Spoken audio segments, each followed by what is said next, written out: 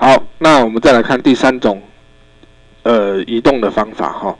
你可以叫出一个工具叫轴向约束工具列哈。那在 Mentor Bar 像这种下拉式按钮的下面哈，或者是右边空白的地方都可以哈，按右键，然后叫出一个叫轴向约束的一个工具列出来。那这轴向约束工具列哈，它会有 x、y、z、x、y 好啊，这个是什么意思？你看一下，呃，内定轴向啊，轴向是 x 为红色，y 为绿色，z 为蓝色，好，但是它多了一个叫黄色，那个黄色代表锁定的意思，哈，就是被约束的意思，哈。如果我按 x，它就只说我现在把 x 轴方向锁起来。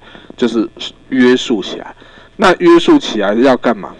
呃，如果滑鼠靠近物件，不要靠到坐标轴哦，靠到坐标轴等一下要讲的哈。我先靠近物件，直接拖移物件，那你会发现它只能在 x 方向拖移，你不能够有 y 方向，不能够有 z 方向，因为它把它锁在 x 方向了。好，那你拖移当然就会有数值了嘛，所以我拖移移动。那你拖移当然就不会有整数嘛，对不对？这很容易理解吧？除非你用打的。好，那 y 的话就是我锁定在 y 方向嘛，z 的话就是锁定在 z 方向，这很容易理解吧？好，那 x y 是什么？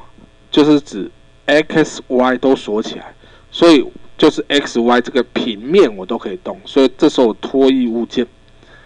你会发现 S、Y 平面都可以动，但是我没有高度，我只能往后、往深、往后面一点，但是我不能往上嘛，对哈。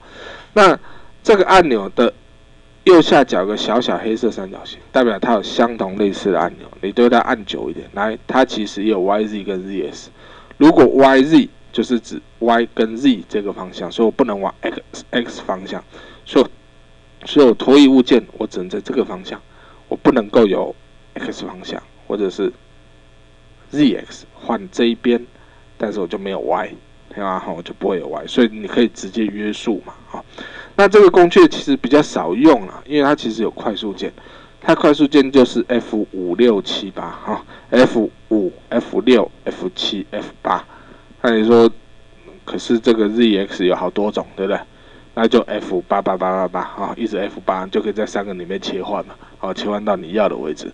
所以这个不一定要叫出来，好，你可以说我现在想往 X 方向，就按一下 F 五，拖移物件就往就往 X 方向，好，F 六、F 七这样子，好，所以这是轴向约束，你利用那个工具列去做轴向约束，哈。那这个经常同学会跟。接下来马上我一起讲啊，视窗轴向约束混在一起。视窗轴向约束是说，例如说，呃，我现在按 F 五，我明明锁在 X 轴了，我拖物件我是我是只能在 S 轴移动，这是没问题。但是如果滑鼠靠近坐标轴，靠近坐标轴，你会发现 Y 会亮起来，所以你的滑鼠也可以直接做滑鼠的约束，直接用在视窗里面做约束。所以我直接在这里先点一下 Y，它就锁到 Y 了，有没有？点一下 Z 就锁到 Z，点一下 X 就锁到 X。好，所以我点一下 Y 之后，我直接拖一坐标轴，这样它就锁在 Y 轴上。拖移 Z 轴，拖移 X 轴也可以，啊，这样也可以。所以拖移有两种，一个 F 五六七八，啊。第二个直接靠近坐标轴，拖移坐标轴，这样也可以。这两种都可以进行物件的位移。好，那不管怎么样，大家记得，你用拖移的就不会有整数。哎，这运气太好了哦，不会有整数了哈。那你如果用 key in 的，你才会有整数，好吧？好，来各位试一下，接下来两个，一个是呃刚刚讲的视窗轴向约束，一个是。